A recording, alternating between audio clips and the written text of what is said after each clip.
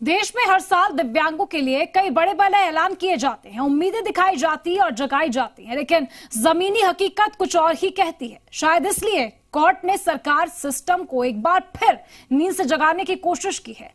विशेष योग्यजन अदालत के एक आदेश में राजस्थान और सूबे के सभी जिलों में दिव्यांगजनों के लिए सभी धार्मिक स्थलों और सिनेमाघरों रैंप बनवाने का फैसला सुनाया है।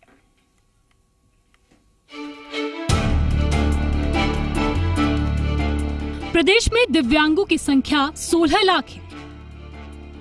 लेकिन अभी भी अधिकतर सिनेमाघरों और धार्मिक स्थलों पर रैंप की कोई व्यवस्था नहीं है।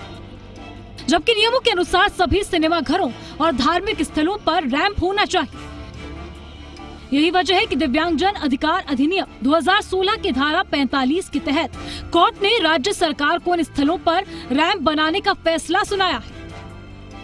दिव्यांग अधिकार अधिनियम 16 की धारा 45, 29 और तीन एक के प्रावधानों के अनुसार राजस्थान सरकार दिव्यांगजनों को बाधा रहित आवागमन की सारी सुविधाएँ उपलब्ध करवाने के लिए गंभीर है उसी दृष्टि में हमने सरकार को पत्र लिखा है कि प्रदेश के सभी सिनेमा हॉलों धार्मिक स्थलों और विधानसभा भवन में रैंप लिफ्ट आदि सारी सुविधाएँ सुनिश्चित की जाएँ।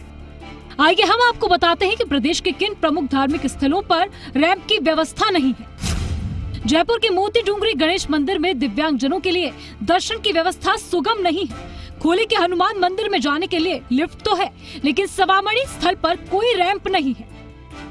करौली के कैला देवी मंदिर, खाटू श्याम मंदिर, सालासर बालाजी गलता धाम में रैंप की कोई व्यवस्था नहीं है। जामा मस्जिद, राजा पार्क का गुरुद्वारा दिव्यांग फ्रेंडली नहीं है। सामोद हनुमान मंदिर में रोप वे बना हुआ है, लेकिन वो चालू नहीं किया गया। जमवाई मंदिर। देवस्थान विभाग के अधिकतर मंदिरों में कोई व्यवस्था ही नहीं। बिरला मंदिर में स्थायी रैंप नहीं बनाया गया है। जब कोई दिव्यांग मंदिर में आता है तो अस्थायी रैंप लगाया जाता है।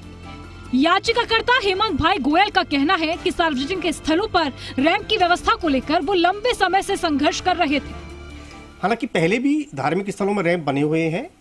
कई सरकारी कार्यालयों में रैंप बने लेकिन अभी हमने इसको नए सिरे से समीक्षा करने के लिए सरकार को पत्र लिखा है और उसी पत्र पर प्रसंज्ञान लेते हुए विशेष योगजन न्यायालय ने गृह सचिव, देवस्थान विभाग के सचिव और विधानसभा के सचिव को पत्र लिखा है।